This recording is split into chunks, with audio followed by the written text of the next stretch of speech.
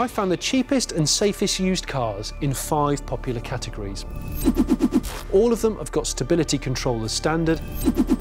All have been awarded the five-star safety rating by Euro NCAP. And all of them cost less than you expect. First is my five-star city car, the Toyota IQ. Released in 2009, it has no less than nine airbags, including the first ever to be fitted across a car's rear window. Euro NCAP gave it the thumbs up for its overall strength and high number of airbags. Brand new, these rock-hard city cars cost from 11 grand, but second-hand, you can now pick one up for just five. The IQ is a frisky, fun little car, and despite being less than three metres long, you can just about squeeze four people into it, if they're really good friends, like, like really good. The IQ has a vague clutch at the best of times, and the early models were known for being a bit weak, so make sure the clutch feels as sharp as it can and it doesn't slip. Oh, and if you're looking for a car with any form of a boot, you might want to look elsewhere, because at 32 litres, the IQ's is a fifth the size of the Minis. Next, my five-star family hatch, the 2006 Honda Civic. In 2008, Honda further improved the design of the airbags and seatbelts, but the top Euro NCAP mark applies to every single model. Right now, this Safe as Houses family hatch can be bought from as little as four and a half grand, and still it looks like a spaceship. Ignition sequence start. In my eyes, this is more interesting than the current brand new Civic, and better still, it costs more than 10 grand less.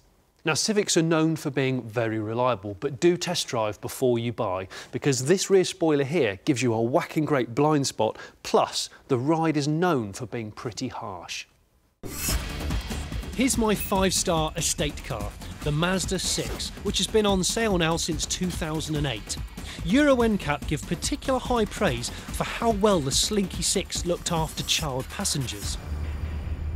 These are still on sale brand new for £20,000, but go and get yourself an early car and you needn't spend more than five. The Mazda 6 is a real unsung hero of a car. It's based upon a Mondeo, it drives as well as one, but it looks a little bit more unique than a Mondeo. The 2 litre diesel is the sensible engine option, but one piece of caution. Keep an eye on the oil level because it can actually creep up as diesel enters the system, which ultimately damages the motor. Time for my 5-star 4x4, the VW Tiguan, which went on sale in 2008. It was one of the first 4x4s to be given a 5-star rating, with older SUVs often struggling in the Euro NCAP tests. The Tiguan did brilliantly, especially in the side impact. This is a little bit more expensive than the other cars that I've found. Prices coming in from around 10 grand for a 2008 model, but that's still half of what they cost brand new, and you get the same posh badge and very similar styling.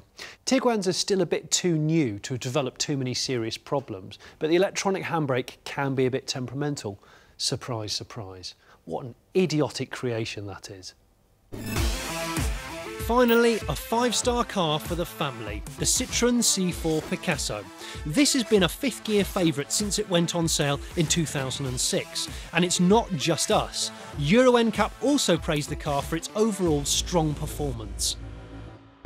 These are still for sale and brand new one will cost you about 20 grand. But for a used 2007 model, you can get one for around five. For a super safe way of transporting a family about, it's a steal. When looking for a good one, a couple of things you want to check. Firstly, the bumpers. Now, if they're damaged, they're quite expensive to repair. The other thing is, the automatic transmission on the C4 Picasso was a bit of a dog. So you're better off really going for a manual instead. So here's proof that you don't have to break the bank to keep yourself safe. This is the brand new £53,000 Lotus Exige S being driven to the ragged edge by ex-Lotus Formula One driver Karun... Ways of having a lot of fun for not a lot of money, our hopes for this brand new model are high. Ah, the latest version of the Suzuki Swift Sport. Love the